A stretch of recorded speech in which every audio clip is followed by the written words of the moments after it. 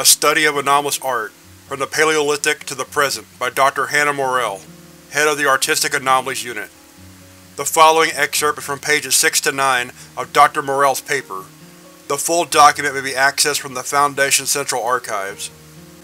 According to William Tartor, founder of the Artistic Anomalies Unit, Anart is a piece of artistic media with an anomalous effect that was intended by the artist as part of the expression of the piece. There are instances where media will exhibit anomalous properties unintended by the creator, and in such instances, the anomalous properties are unconnected with what is being expressed. This definition has served for almost 40 years, and in my experience and the experience of many others, is the one certainty in the study of anomalous art. Of course, this definition is certain because it is broad and universal.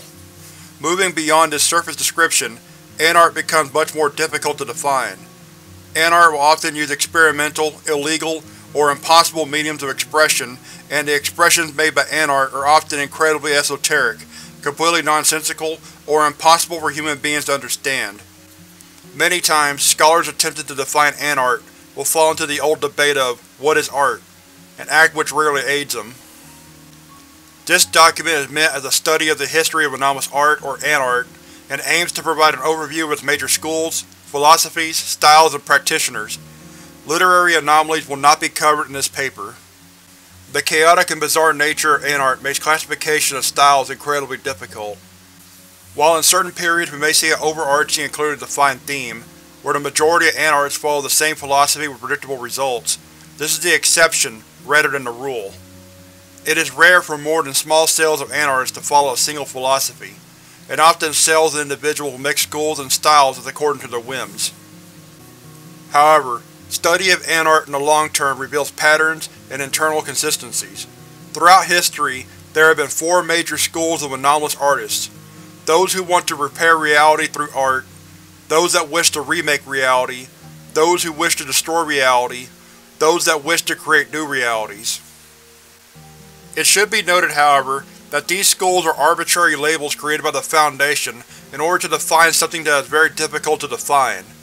The practitioners of these schools will never claim themselves as such, and no Anart or piece of Anart will ever fit entirely neatly into these categories. These schools and their primary subschools are as follows. Reconstructionists these Anartists who wish to fix social, economic, and ethical problems through the implementation of Anart. Reconstructionist Anart is meant for the sole purpose of achieving an end, and is therefore temporary, becoming unnecessary when the goal has been reached. Petty Reconstructionists Supporters of movements that did not originate with an anartist or group of anartists. This subschool has become increasingly prevalent since the middle of the 20th century up through the present.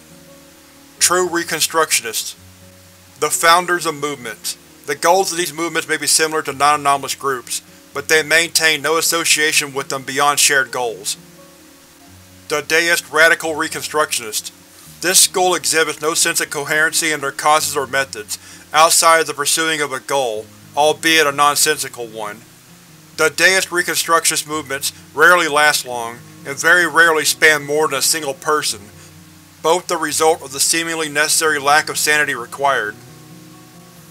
Recreationists. These Anarts who shape pre-existing reality according to their will. Unlike Reconstructionist art, recreationism does not necessarily work towards a greater end, and is meant to be a permanent fixture. However, there is still a great deal of overlap. Minor Recreationist. The most common recreationist subschool wherein Anart is used to transform on a small scale, a person, an object, or a single place. It is common in the present day for many Anartists even those of highly opposed schools, to experiment with minor recreationist art, most commonly in body modification. Major Recreationist This subschool is based solely on the scope of the Anart used, as it is aimed at transforming countries, societies, the entire world, or things of similar large scale. These projects usually involve large cells of Anartists, often of different schools, led by a specific individual or group. These projects very rarely come to fruition, as they are usually either interrupted by outside forces or collapse due to infighting or mismanagement. Reformed Recreationist Art is for the transformation of the self in all aspects. This sub-school has traits similar to that of religions, and as such is rife with conflicting themes and ideas. This subschool is notable in the general lack of external artistic media. The reformed recreationist considers the soul to be the perfect canvas, and as such is the only one worth using. Deconstructionist These anartists who act to destroy facets of pre-existing reality without providing replacement. Pseudo-deconstructionists. This subschool focuses on toppling what they view to be oppressive or corrupt structures of society. This subschool often mixes with the Reconstructionist schools, most commonly petty Reconstructionism. True Deconstructionist The target is not only to be destroyed, but erased utterly from reality, so that it never existed in the first place.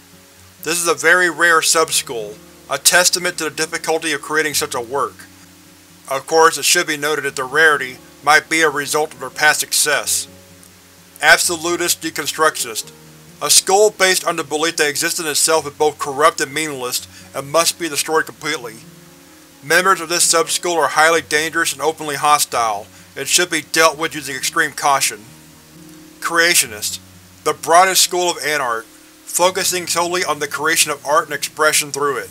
Some scholars claim that all anart is by nature creationist, and so the label is redundant. To an extent this is true. There is extensive overlap between creationist art and other schools. However, the general opinion is that creationism is specific enough to exist on its own. True Creationists The vast majority of anartists fall into this category, and it serves as an effective catch-all for those who do not easily fall into other categories. This definition extends to all anartists who create anart for its own sake, and whose view of art does not place them among the high creationists or artistic deists. High Creationist Through the act of creation, the anartist does not only express reality, but defines it. This is a property shared among all anartists, and so all anartists are considered valid in the eyes of the school. Recent scholarship has argued that this is not a true school of anart, and the position has been gaining momentum in recent years. Artistic Deist The artist is God. Unlike High Creationists, where the ability to define truth and reality is shared by all artists, the Artistic Deist believes that the right is theirs alone, and that no other individual may define truth. Artistic Deists are often highly dangerous, often exhibiting traits of megalomania. Sufficiently skilled Artistic Deists may be considered in the same category as reality manipulators. Each of these schools and their respective subschools will be explained in greater detail in later chapters.